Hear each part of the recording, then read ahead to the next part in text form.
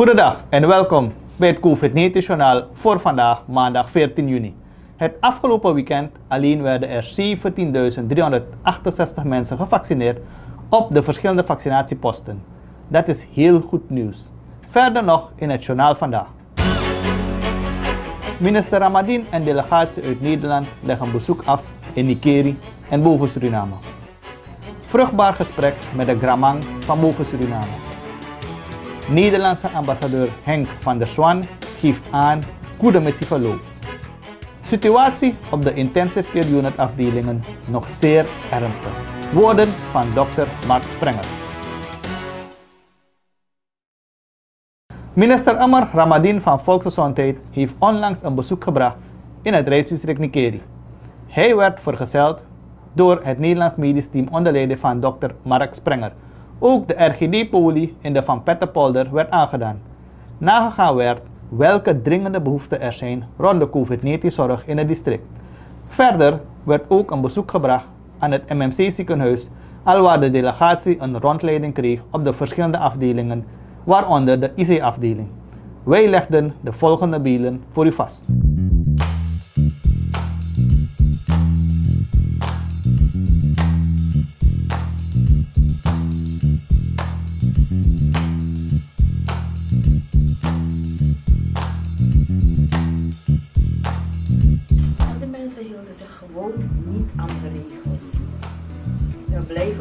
Maar schreeuwen, hè? We bleven maar schreeuwen.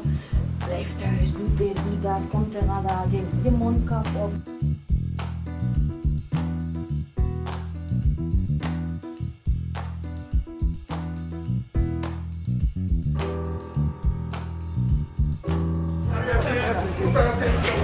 Wat is hier nou?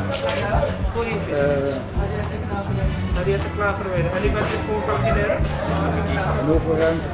Dan ben je de plukjes gaan. Zo net. Oké, mooi.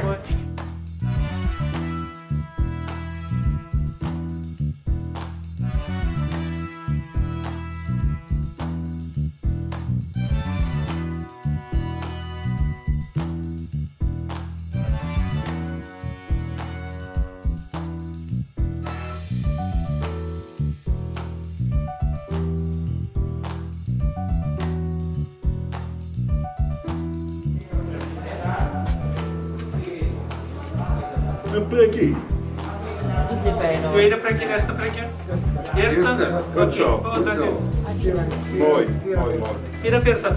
44.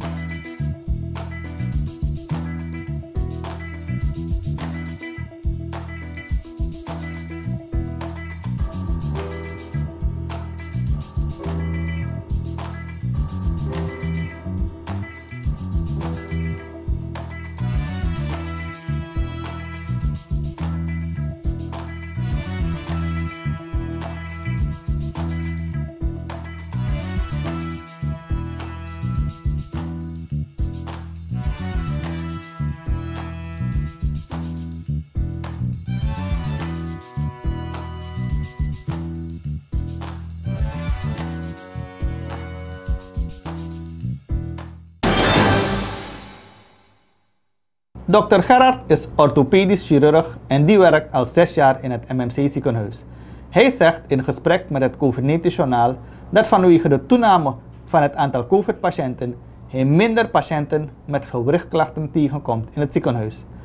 Ik heb niet rechtstreeks bemoeienis met de COVID-zorg, maar ik kan wel zeggen dat ik ook tweemaal gevaccineerd ben met het AstraZeneca-vaccin. Ik ben niet rechtstreeks betrokken bij de behandeling van de COVID-patiënten. Nee, het, eh, eh, eh, mijn, mijn bemoeienis daarmee is dat we zien nu minder patiënten dan voorheen. Maar we, eh, ik ben gevaccineerd. Ik ben tweemaal gevaccineerd. De eerste keer was in Nikeri. De tweede keer eh, zes weken later in Nederland. Het AstraZeneca-vaccin heb ik gehad. En eh, dat is intussen drie weken geleden. Dus officieel ben ik beschermd. Maar we hebben met elkaar afgesproken. We houden ons nog aan de regels. Dus we houden afstand. We houden het mondkapje op. We doen veel handen wassen. We hebben weinig mensen in een opeengesloten ruimte. Een onderzoek moet kort zijn. Niet veel langer dan vijf minuten. En op die manier proberen we uh, de besmettingen, het aantal besmettingen terug te brengen. Er is uh, veel ruis in, onder de Surinaamse gemeenschap over alsof het AstraZeneca-vaccin dat we hebben gekregen uit Nederland afval zou zijn. Wat heeft u daarop om te zeggen? Ik heb er, op de een of andere manier is de publiciteit niet gunstig. Maar als je wetenschappelijk alle getallen bekijkt, dan kun je elk vaccin wat op dit moment beschikbaar is, kun je gebruiken. En de kans op complicaties, heb ik wel eens gezegd, is zo groot als de kans dat je door een hond gebeten wordt. En de kans dat je doodgaat aan een complicatie is zo groot als de kans dat je door de bliksem geraakt wordt. Dus het kan wel, maar de kans dat je door COVID iets ernstigs oploopt is vele malen groter. En de enige manier om de pandemie eronder te krijgen is door te vaccineren. Infectioloog Karen en IC-verpleegkundige Monique behoren tot twee van de specialisten die vanuit Nederland zijn overgekomen om te helpen in de COVID-zorg. Toen het bericht verscheen in Nederland dat Suriname hulp nodig heeft, hebben we direct onze hulp aangeboden. Zij delen hun ervaring met het COVID-19-journaal. Direct, ik heb er niet over na hoeven denken. Uh, en de reden daarvoor is dat ik uh, Suriname een beetje ken, omdat ik hier uh, tien jaar geleden heb gewerkt. Vorig jaar zijn we ook geweest, zijn we ook samen geweest, of tenminste samen mee geweest met de hele groep. en ik heb er dus niet over hoeven twijfelen. En dat geldt voor mij hetzelfde. We zijn vorig jaar in, wanneer was dat? In juli. Toen zijn we ook hier geweest vanwege de COVID en als groep uit Nederland. En dan kwam de oproep. Nou, we hebben binnen drie dagen alles moeten regelen. Van onze diensten kwijtraken, dat je vrije dagen voorop kunt nemen, tot papieren invullen, visum, alles. En we hebben hulp erin gekregen hoor. En, uh, en toen waren we binnen drie dagen hier. Uh, we zijn eigenlijk vrijwel direct naar de Keri gegaan. En wat we hier hebben aangetroffen is um, dat het gelukkig allemaal nog net wel onder controle is. Uh, en dat het goed geregeld is in Nikeri, maar dat we natuurlijk wel hard nodig zijn. Um, en ik denk dat onze hulp ook ja, goed ontvangen wordt en dat we echt wel een beetje het verschil kunnen maken door vooral mee te werken. Ja, en ik moet zeggen, we zijn ontzettend hartelijk ontvangen. Echt heel hartelijk ontvangen. Uh, en ik moet zeggen, ik ben heel trots. Ik sta dan op de, de IC COVID. En als ik zie hoe goed het personeel is en hoe goed ze zijn en hoe hard ze werken onder alle omstandigheden, een en al respect. Het nadeel is, is dat die groep zo klein is en ze draaien dubbele diensten. Dat is echt ontzettend zwaar. Maar wat wij hier zien, het is echt fantastisch de inzet hoe de mensen het hier doen. Ja. Wij zijn vorig jaar uh, zijn we hier ook geweest. Vorig jaar hebben we overal, uh, uh, in alle ziekenhuizen hebben we ook gekeken en gewerkt. Maar op een of andere manier is Nigeria zit in het hart. Ja, het is gewoon zo. Dus ja. Ja, voor mij geldt hetzelfde. Ik heb hier dus eerder al gewerkt en we zijn vorig jaar dus ook geweest en we wilden allebei heel graag naar Nikeri. en ik heb zelfs bij het aanmelden om naar Suriname te gaan, heb ik gezegd, ik wil gewoon naar Nikeri toe. Ja. En dat is gelukt. Laat je vaccineren en voorkom dat je doodziek bij mij komt op de afdeling. Woorden van IC-verpleegkundige Monique. Nou, de boodschap in Suriname ja, is echt aan de grond van mijn hart. Ik hoop dat jullie allemaal laten vaccineren. Vaccineren is het enige wat helpt om deze pandemie tegen te gaan. Doe het gewoon, het, uh, het beschermt jezelf. Ik werk op de IC. Uh, je kunt beter een vaccin krijgen waar je misschien een dag spierpijn van hebt, uh, blauwe plekgevoel, een beetje hoofdpijn. Dat is echt zoveel beter dan dat je bij mij op de IC komt, hartstikke ziek bent en misschien ook wel met nog slechtere afloop. Dus laat je vaccineren. En daarbij niet alleen het vaccineren, maar uh, houd je aan de maatregelen. Dus Mohanna, mondkapje voor, handen wassen en afstand houden en ook uh, na de vaccinatie. Want daarmee bescherm je ook de mensen die nog niet gevaccineerd ja. zijn. De volgende dag vertrok dezelfde delegatie naar het boven gebied. Onderweg werd een tussenstop gemaakt op de RGD-polie van Bronsweg.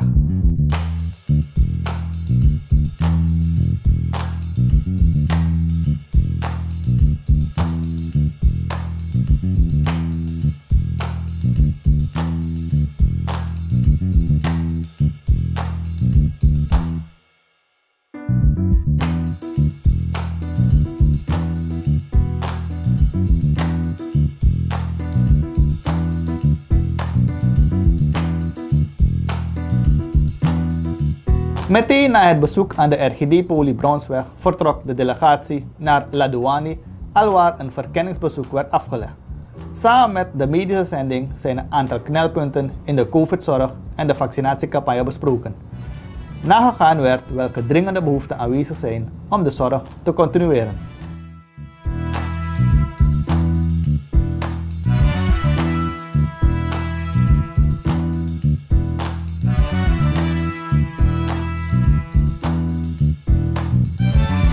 Vanwege de ondergelopen gebieden kon het bezoek aan de Gramang niet plaatsvinden. Er werd toen door de delegatie besloten telefonisch in contact te komen met de Gramang. Ook de medische specialisten stonden de Gramang te woord. Maar dat kan wisselen. Ja, dat is helaas op dit Maar moment ja. moeilijk. Maar we hebben gelukkig de techniek. Maar ik zie er naar uit om op korte termijn naar u af te reizen en ook persoonlijk met u kennis te maken.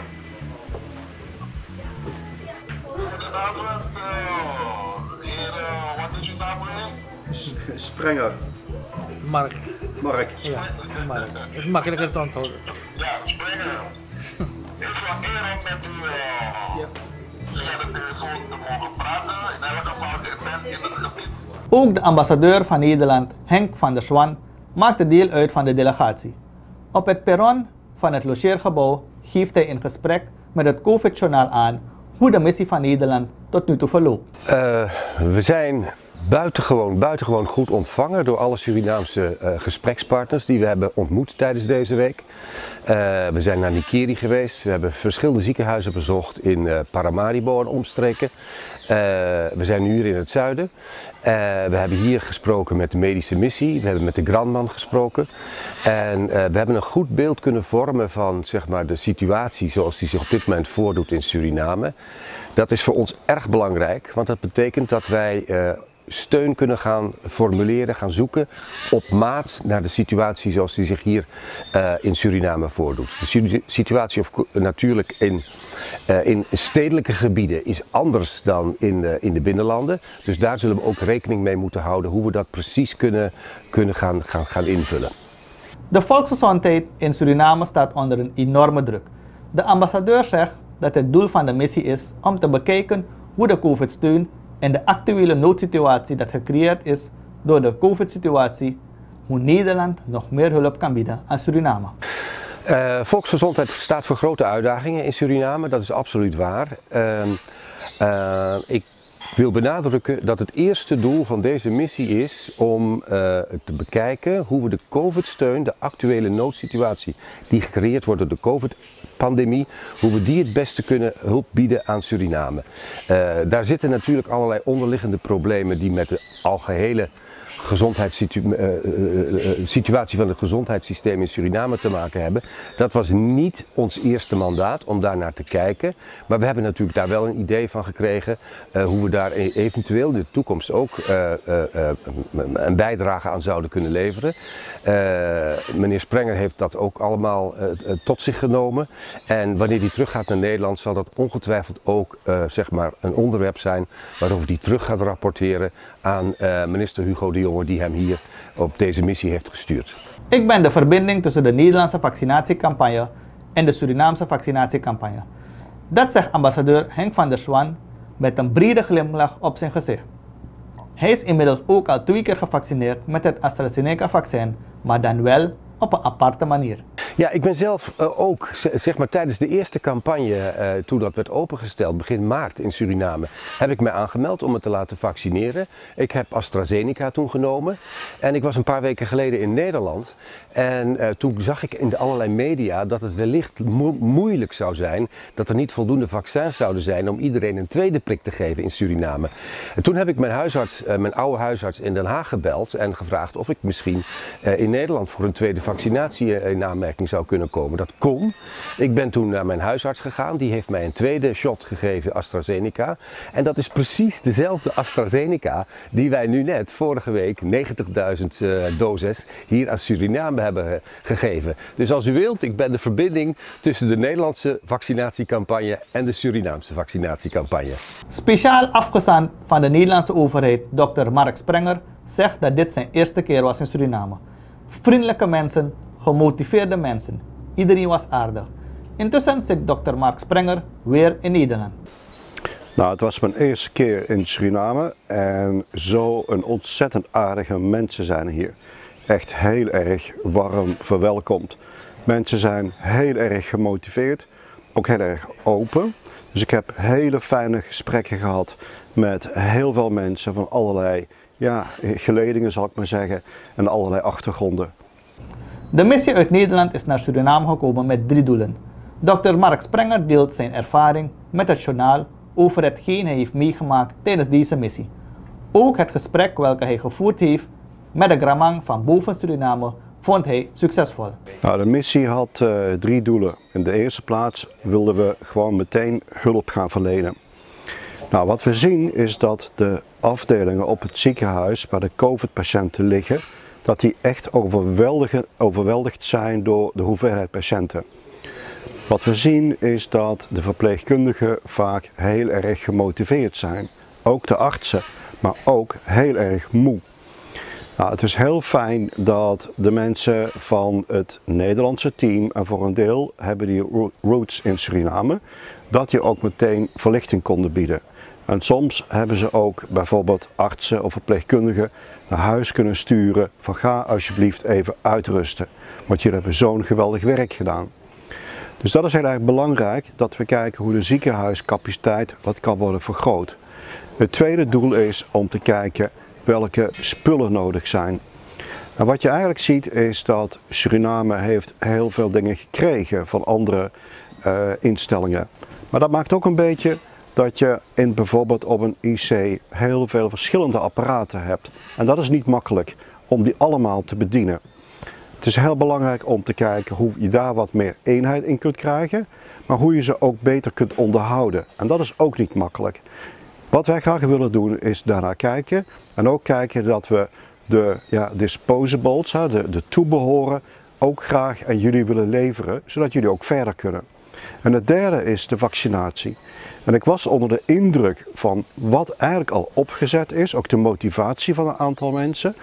Um, ik heb geprobeerd om te adviseren om het wat verder te stroomlijnen, ook wat te vereenvoudigen, waardoor het sneller gaat. Ik ben ook onder de indruk van het gesprek dat ik heb gehad met de grandman. Um, een bijzonder aardige man, heel goed gesprek, die heel goed begrijpt hoe ernstig COVID is en hoe belangrijk het is om ook de inheemse bevolking en de Marons te beschermen tegen COVID met een vaccinatie. Ook de minister van Volksgezondheid, Amar Ramadin, geeft in het COVID-journaal een korte evaluatie met betrekking tot de Nederlandse missie, maar ook het bezoek dat onlangs werd afgelegd in Nikeri en het boven Suriname gebied. De afgelopen week heeft de, de Nederlandse regering uh, concrete stappen gezet richting uh, steun aan Suriname. En in dat kader um, is de, door de minister van Volksgezondheid in Nederland, de heer Dr. Mark Sprenger, afgevaardigd als speciaal gezant om hier een oriëntatiemissie uit te voeren, welke een week zou duren. Dat is in de afgelopen week ook gebeurd. We hebben Dr. Mark Sprenger inclusief uh, topambtenaren van het ministerie van Volksgezondheid en de ambassade, uh, hier gehad, uh, die de hele week onze, onze zorg, COVID-zorg en de vaccinaties um, heeft bekeken, is rond geweest, heeft gesproken met diverse zorgactoren. En dit alles in het kader van verkenning, wat de directe behoeften zijn, wat de directe indicaties zijn voor hulp. U weet dat Suriname een hulpverzoek heeft ingediend uh, via mij als minister. En de afspraak is gemaakt dus met de Nederlandse regering dat wij uh, een, een, een veldoriëntatie gaan doen om te identificeren waar direct dringende behoefte aan is. Zo is er uh, in de afgelopen week uh, een bezoek gebracht aan de president, de ziekenhuizen, diverse vaccinatiesites. Er is gesprekken, zijn gesprekken gevoerd met de, de vaccinatieteams, de technische commissies.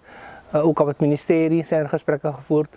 En we zijn nog recentelijk, eergisteren, naar Nikeri vertrokken. Ook voor een, een, een, een, verkenning in het district Nikeri. Alwaar u weet dat er een aantal COVID-gevallen zijn. Ook vaccinatie loopt daar. En we hebben dat uitgevoerd. De knelpunten zijn besproken, de issues ook. En ook is er een indicatie wat direct nodig is in de COVID-zorg en vaccinatiecampagne. Um, we hebben gisteren, er op dit moment zijn we in uh, het boven Suriname gebied, al waar wij met uh, het team van, uh, van dokter Sprenger hier een bezoek hebben gebracht aan de Polita Brownsweg, maar ook uh, in het, aan het gezondheidscentrum Ladouani. En daar hebben wij bekeken de opties en ook de flow besproken qua vaccinatie. Geïnformeerd wat de bereidheid is. En dat schijnt nog hier in het boven Suriname gebied uh, een beetje te wisselen per, per dorp. En in dat kader is er ook een, een Zoom-overleg geweest gisteravond met het traditioneel gezag. Daar is ook aangegeven dat men willing is. Men wil natuurlijk meer informatie, meer voorlichting. Daar heeft de medische zending een communicatiecampagne op voorbereid. En is, dat, is men dat ook bezig uit te voeren. In dat kader zijn er dus dringende behoeftelijsten gemaakt. Vandaag vertrekt het team van dokter Sprenger terug naar Nederland, waar men dus een verslag zal doen aan de minister De Jonge in Nederland. En wij hebben allemaal medewerking verleend aan het team om in ieder geval een goed beeld te krijgen, onafhankelijk te kijken naar de zaken die nodig zijn. in dat kader kan ik zeggen dat die steun zelf van Nederland al goed op gang komt, want we hebben intussen de vorige week gezien een, missie van 23 uh, gezondheidswerkers. Gisteren zijn nog eens 15 gezondheidswerkers gekomen, inclusief een behoorlijke lading aan medisch equipment en ventilators, dus beademingsapparaten en zuurstofconcentrators. Daar, daar zijn we heel blij mee om, omdat deze zaken gelijk ingezet kunnen worden in de opschalingsplannen die er heersen in de diverse ziekenhuizen. Dus we zijn heel blij. En dokter Sprenger die heeft zelf ook aangegeven zeer tevreden te zijn met één, de manier hoe wij vaccineren. Wij hebben een, naar zijn mening een heel professioneel vaccinatiecampagne, welke zelfs te correct is, zegt hij. En daar zijn we bezig wat zaken te vergemakkelijken, versoepelen, zodat we met minder mensen hetzelfde werk kunnen doen. En daardoor ook meer vaccinatiesites kunnen hebben. Dus dat zijn de zaken. En de, de, vaccins die uh, woensdag zijn gearriveerd, dat is uh, 90.000 AstraZeneca, die zijn al ingezet. Uh, we gaan verder. Er, komen, er zullen constant vaccins binnenkomen. Uiteraard gaan we de samenleving ook informeren. De bedoeling is dat de teams, de vaccinatiesites normaal gaan draaien met iedereen boven 18 jaar die gevaccineerd wenst te worden. En wij roepen dus van deze kant ook ieder op vanuit het ministerie van Volksgezondheid om in ieder geval jezelf en anderen te motiveren om te gaan vaccineren. Laat je vaccineren. Laat je vaccineren. Nogmaals, laat je vaccineren. Dat is helemaal niet veel gevraagd. Vooral niet als we kijken hoeveel mensen er dagelijks doodgaan aan het coronavirus. En ook nog weten dat geen van de overleden gevaccineerd waren. Mensen gotekas poiti, fugona normalisatie. We hebben ook de beelden gezien van de grote aantallen mensen die gehoor geven aan de oproep zich te laten vaccineren. Mensen die niet willen vaccineren, denk er nog eens over na en probeer niet om anderen te beïnvloeden met jouw denkwijze. If you know poiti, no go weer trasma edit op social media, funogo. We willen terug naar ons normaal leven. Hoe lang zijn we niet naar een spankje nog gaan kijken in TBL? Hoe lang zijn we niet een potje gaan poelen in een poolcafé? Hoe lang hebben we niet kunnen voetballen of basketballen? Hoe lang zijn we ons binnen niet gaan losgooien in de discotheek? Hoe denk Atori Ik wil u in ieder geval een fijne voortzetting van de dag toewensen. We zijn er morgen weer met een andere aflevering van het COVID-19 Journaal. Doei!